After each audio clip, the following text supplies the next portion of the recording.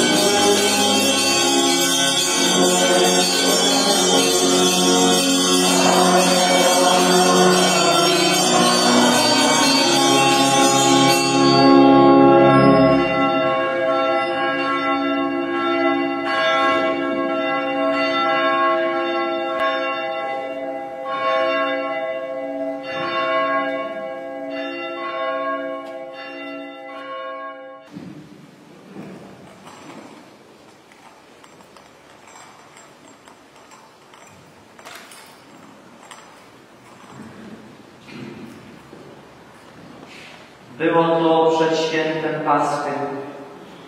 Jezus, widząc, że nadeszła Jego godzina przejścia z tego świata do Ojca, umiłowawszy swoich na świecie, do końca ich umiłował.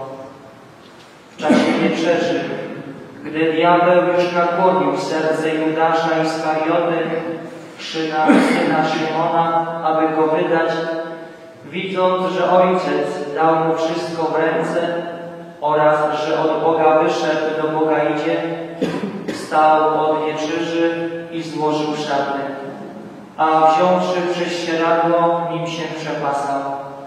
Potem nalał wody do miednicy i zaczął umywać uczniom nogi i ocierać prześcieradłem, którym był przepasany. Podszedł więc do Szymona Piotra, a on rzekł do niego, Panie, Ty chcesz mi umyć nogi? Jezus mu odpowiedział, Tego, co ja czynię, Ty teraz nie rozumiesz, ale później to będziesz wiedział. Rzekł do niego Piotr, Nie, nigdy mi, mi nie będziesz nóg umywał. Odpowiedział mu Jezus, jeśli Cię nie umyję, nie będziesz miał udziału ze mną. Rzekł do niego Szymon Piotr, Panie, nie tylko nogi moje, ale i ręce i głowę. Powiedział do niego Jezus, wykąpany potrzebuje tylko nogi sobie umyć, bo cały jest czysty. I wy jesteście czyści, ale nie wszyscy. Wiedział bowiem, kto go wyda, dlatego powiedział, nie wszyscy jesteście czyści. A kiedy im umył nogi, przywdział szaty i gdy znów zajął miejsce przy stole, rzekł do nich, czy rozumiecie, co wam uczyniłem? Wy mnie nazywacie nauczycielem i Panem i dobrze mówicie, bo nim jestem. Jeśli więc ja, Pan i Nauczyciel, umyłem wam nogi, to i wy powinni sobie wzajemnie umywać nogi. Dałem wam bowiem przykład, abyście i wy tak czynili, jak ja wam uczyniłem. Oto słowo Pańskie.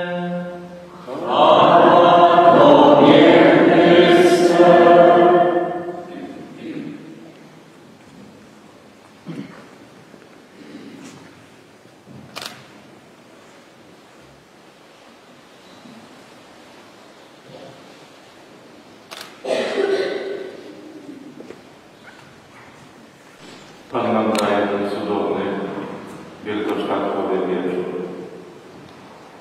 Stajemy dziś w naszym parafialnym wieczerze, ale myślą przenosimy się i zatrzymujemy w tamtym wieczerze. Próbujemy oczyma Ducha zobaczyć to i przeżyć to, co tam dla nas się wydarzyło. Już Piotr i Jan rozkładają obóz na stole. Chleby przaczne i wino rozlewają do kielichów. Tylko Judasz gdzieś stoi z boku i czuje się jakoś nieswojo. Tak więc już wszystko gotowe. Pan nasz podnosi chleb i mówi, oto moje ciało, bierzcie i jedzcie. Dalej bierze kielich i każe pić z niego, mówiąc, że to jest jego krew, jego krew dająca życie wieczne. I jeszcze każe to czynić na jego pamiątkę. On wiedział, że odchodzi. Wiedział też, że te trzy lata, które przeżył ze swoimi uczniami, to tylko początek drogi, to jest dopiero początek drogi, że człowiek dalej potrzebuje przestrzeni na rozwój. I dlatego Eucharystia. Dlatego właśnie Eucharystia. Ale aby mogła zaistnieć Eucharystia, nie wystarczy kapłaństwo powszechne, czyli to, które mamy wszyscy z racji przyjętego sakramentu Świętego. Dlatego też ustanawia drugi sakrament, kapłaństwo, kapłaństwo hierarchiczne. Państwo, i Eucharystia. Dwa Boże dary, wielkie dary, wspaniałe dary. Byśmy mogli dziś również dotykać Boga, słuchać Go i postępować w rozwoju na duchowej drodze. Trudno jednak to wszystko objąć tylko intelektem, tylko naszym rozumem. Trudno zrozumieć, że chleb i wino doznają przez słowa świętej przemiany. I to jeszcze, że zwykły człowiek jest pośrednikiem w tym wszystkim. Jezus wiedział, że mogą być zwątpienia. Dlatego powstawszy, przepraszał się prześcieradłem i począł umywać uczniom swoich nogi. I tym samym mówił, bez pokory i służby, służby i pokory, nic nie zrozumiecie. Nic nie zrozumiecie bez pokory i służby, a służby i pokory. To wszystko będą dla nas tylko wtedy puste gesty, znaki i słowa. Dlatego Bożych tajemnic można doświadczyć jedynie w postawie uniżenia i autentycznej pokory. Ojciec Pio nazywał Eucharystię wstrząsającą tajemnicą do jego słowa. On znał prawdę o niej i dlatego ją tak, mocno przeżywał. Przygotowywał się do niej godzinami i godzinami trwał w dziękczynieniu po jej sprawowaniu, aż czasami, jak czytamy w jego biografiach, omdlaływał przed ołtarzem w pustym kościele.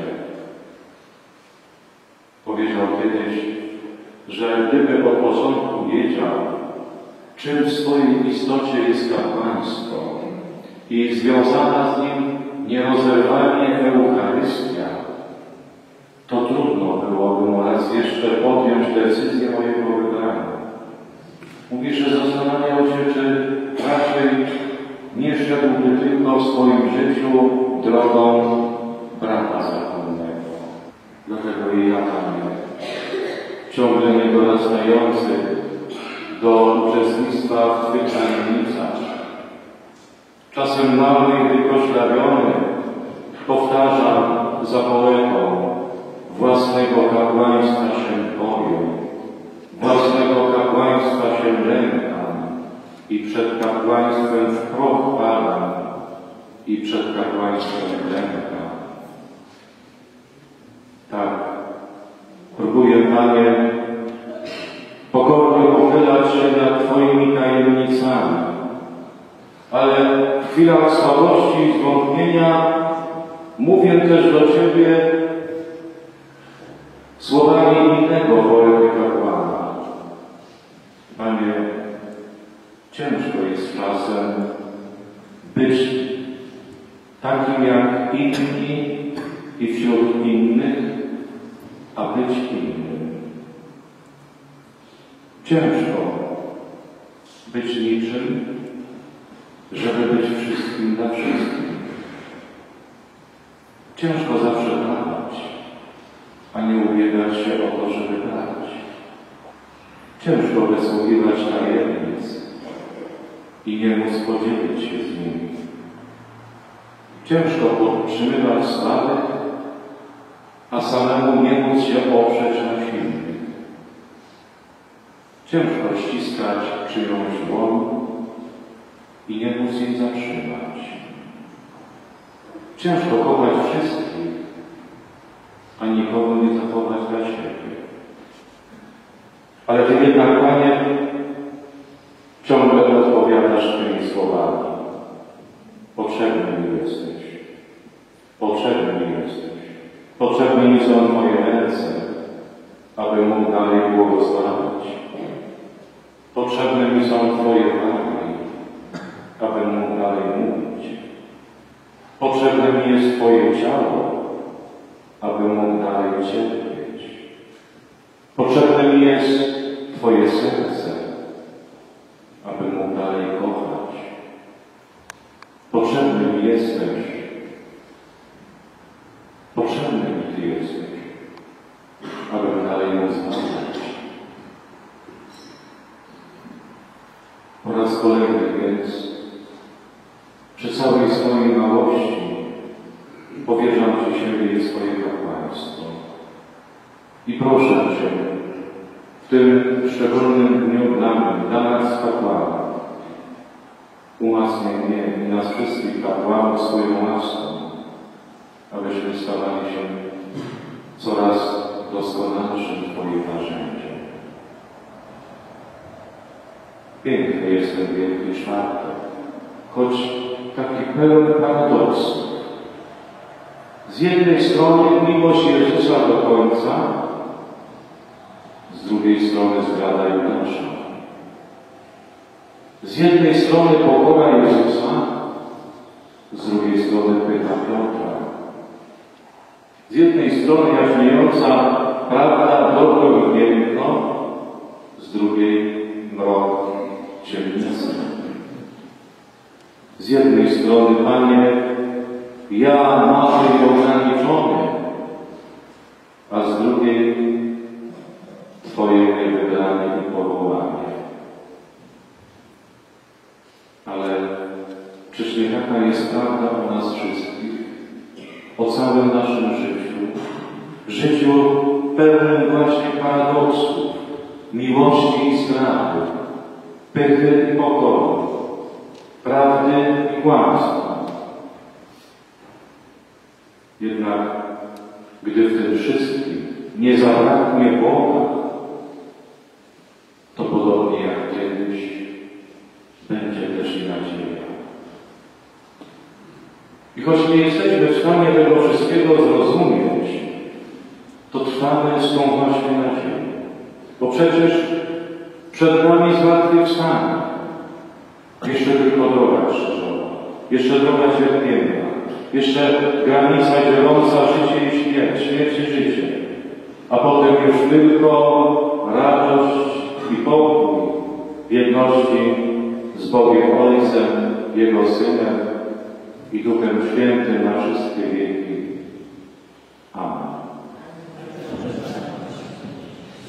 Przez Jezusa Chrystusa, Twojego Syna, naszego Pana, abyś przyjął i pobłogosławił te święte dary ofiarne.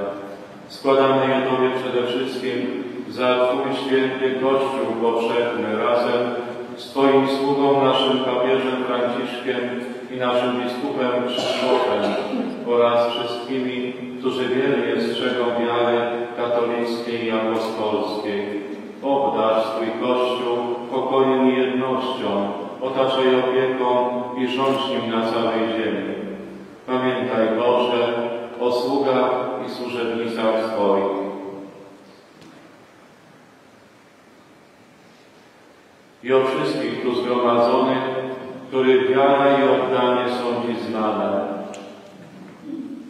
Za nich składamy Tobie tę ofiarę uwielbienia, a także oni ją składają i wznoszą swoje modlitwy ku Tobie, Bogu wiecznemu, żywemu i prawdziwemu, aby dostąpić odkupienia dusz naszych. Zjednoczeni z całym Kościołem uroczyście obchodzimy święty dzień, w którym nasz Pan Jezus Chrystus został za nas wydany i ze czcią wspominany.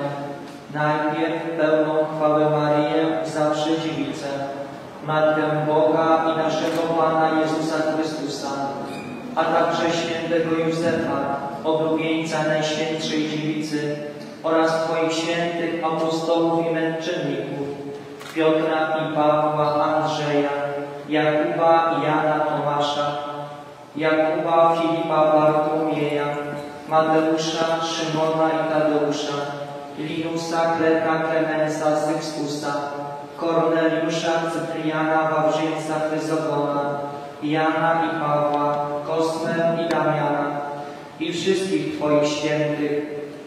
Przez ich zasługi modlitwę otaczaj nas we wszystkim swoją przemożną opieką.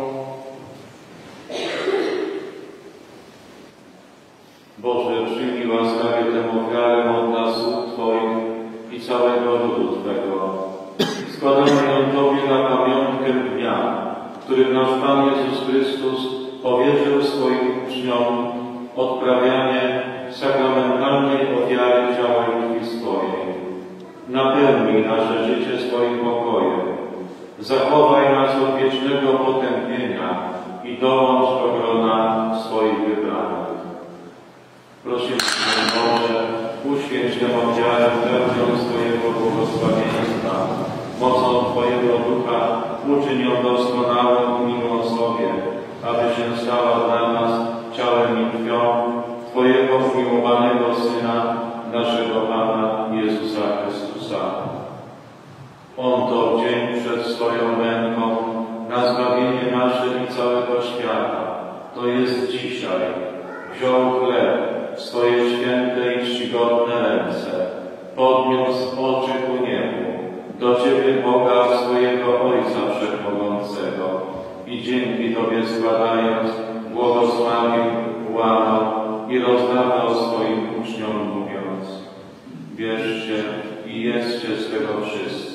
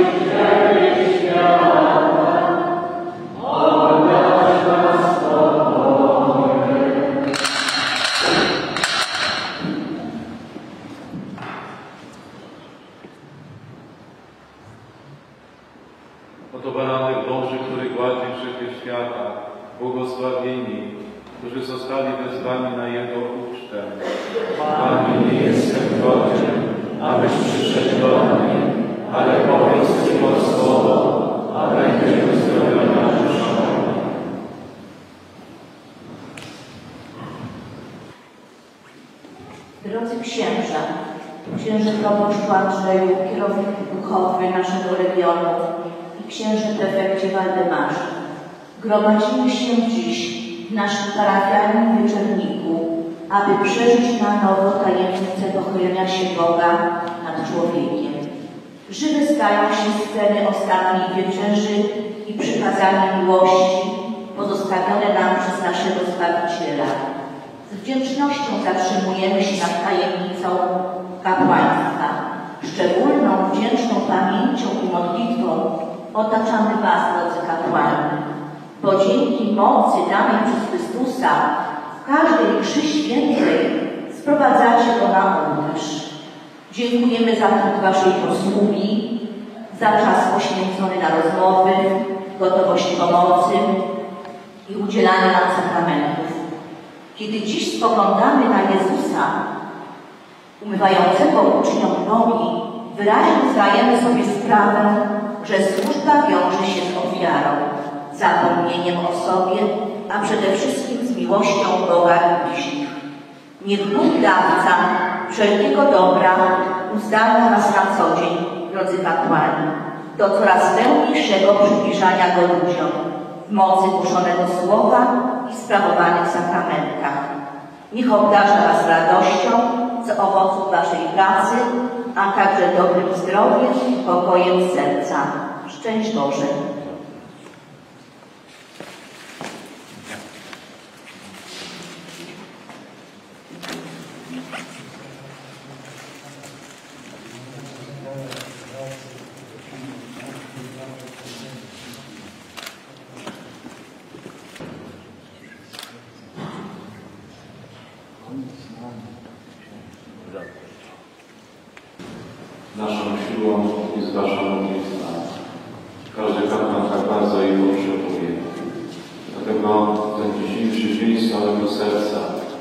Dziękujemy Wam za wszelką życzliwość, a przede wszystkim za modlitwę. Tak często spotykamy się z tym zapewnieniem, nie tylko kiedy odwiedzamy chory, kiedy ktoś mówi, że ja za księdza modlę się, ofiaruję miesiąc różańca. To jest bardzo potrzebne. Tej duchowej siły każdemu kapłanowi tak bardzo potrzeba, by móc służyć. To jest służba, tak jak nam to Jezus dzisiaj ukazuje. Służba miłości. Jesteśmy kapłanami nie po to, by panować i rządzić, ale po to, by służyć i obdarowywać miłością Chrystusa wszystkich, do których jesteśmy posłani. I byśmy wraz z Wami w tych wspólnotach, które tworzymy, mogli jak najlepiej chwalić Boga, mogli jak najlepiej wspólnie poprzez to wszystko, co składa się na życie danej wspólnoty, okazywać Mu miłość swoją i wierność. Raz jeszcze z całego serca zadbać i polecamy się pamięci modlitewnej.